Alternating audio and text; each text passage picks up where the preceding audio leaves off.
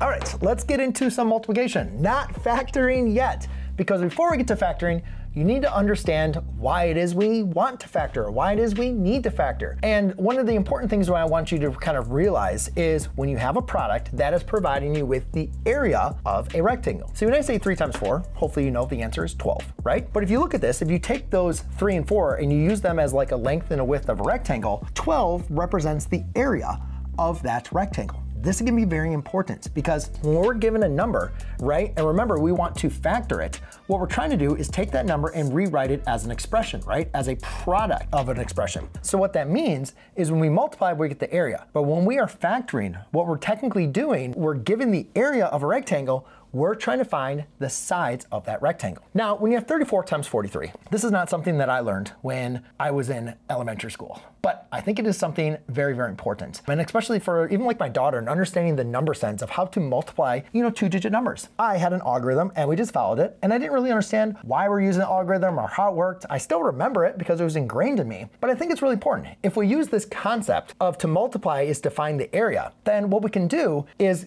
kind of visualize, well, how can I break this up? 34 times 43, I have no idea what that is. However, by breaking this down into a 30 plus 4 times a 40 plus 3, I can get a better understanding of how to represent this multiplication. And actually, I need to rewrite this.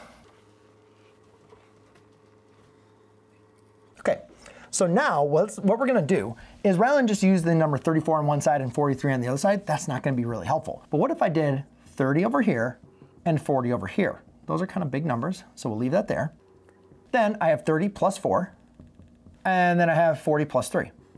Okay, now obviously you can use, a, you don't really need the plus, we're just, I'm showing you that that's how that's broken down. Now what I can do is rather than trying to find the area of one big number and kind of using that algorithm, I can break this down. I can find the individual areas of each of these rectangles and then add them all together to get my product. 30 times 40 is going to be 120. 30 times 3 is going to be a 90. 40 times 4 is going to be 160. And 4 times 3 is going to be a 12. So now if I want to find the area of multiplication on this, I can do a 120 plus 90 plus 160 plus 12.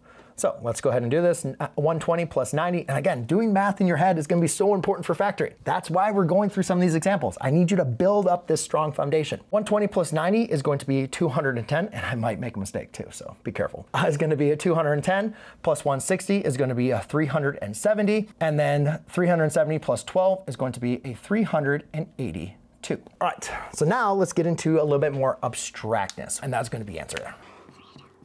So what about when we have something we can't visualize, we can't see because we don't know what the value is? What about when we have like a variable x? Now again, you could use anything a, b, c, y, z, w. W is a good one. What do we do? Well, we're just to follow the same rules that we did with numbers, and we're just going to represent it. It's just going to be a little more abstractness because we don't know how big x is. x could be a fraction, it could be one half, or it could be 10,000, right? But if I want to find the area here of 5 times x, that is just going to be 5x, right? The product of your lengths times your width. Now over here, what about when we add some things to our variables? Well, again, kind of think about this. We have a 5 times an x plus 1. Again, we can do just like we did over here. We can break this up. Let's find the rectangle, or the area of this rectangle, 5 times x. We already know that's 5x. Width of this angle, 5 times 1. Well, that's just going to be a 5, right? And hopefully you're familiar with the distributive property. 5 times x plus 1 just equals a 5x plus 5, right?